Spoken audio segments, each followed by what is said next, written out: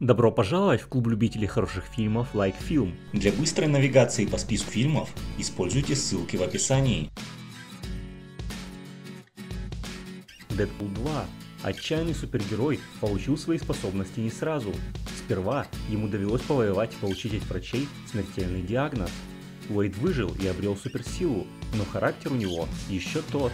Он спасает мир, все как положено, защищает хороших, обижает плохих, но к его стилю надо привыкнуть. Шутки на грани фола, бессмысленные авантюры, рискованные решения – все это про него. Дэдпул 2016 года. Уэйд Уилсон, наемник.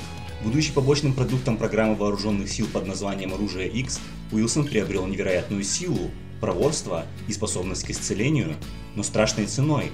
Его клеточная структура постоянно меняется, а здравомыслие сомнительно. Все, чего Уилсон хочет, это держаться на плаву в социальной выгребной яме, но течение в ней слишком быстрое. Логан.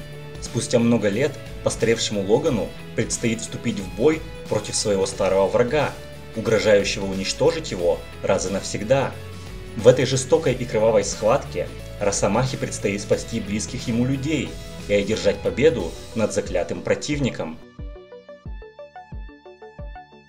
Черепахи Ниндзя 2 2016 года. Долгое время черепашки-ниндзя скрывались от людей в лабиринтах городской канализации. На протяжении нескольких лет учитель Сплинтер обучал их боевым искусствам и прививал им чувство справедливости. В один прекрасный момент им пришлось подняться наверх, чтобы спасти Нью-Йорк от Шреддера, предводителя клана Футов, захватившего власть в Нью-Йорке. Вместе с отважным репортером Эйприл и ее оператором Верном бесстрашные воины смогли одержать победу и очистить любимый город от преступности. Люди X – дни минувшего будущего. В недалеком будущем мутанты близки к истреблению, роботами-охотниками на мутантов, стражами. Единственная надежда для мутантов выжить – предотвращать череду роковых событий, предшествующих появлению стражей. С помощью своих способностей Китти Прайд перемещает сознание Росомахи в его молодое тело в 1973 год. В прошлом все оказывается не так радужно. Молодой профессор X окончательно разочарован в своих идеях. Магнета содержится в тюрьме глубоко под землей, а человечество не знает, как реагировать на широкое появление мутантов.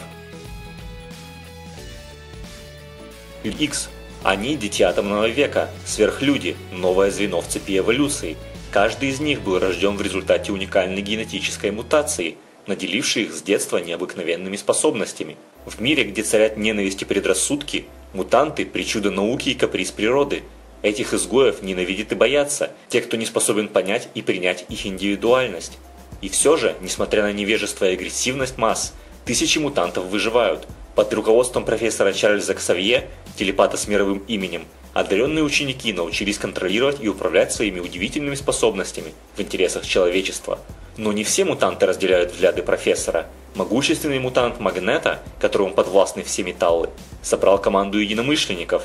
Он не верит, что люди и мутанты когда-либо смогут мирно сосуществовать. Они разработали план, чтобы осуществить захват власти над миром. И тогда только ученики профессора Ксавьера смогут защитить этот мир. Идеальное создание. 300 лет люди и вампиры жили рядом. И вот однажды смертельный вирус из тайной правительственной лаборатории вырвался на свободу и заразил безумием одного вампира.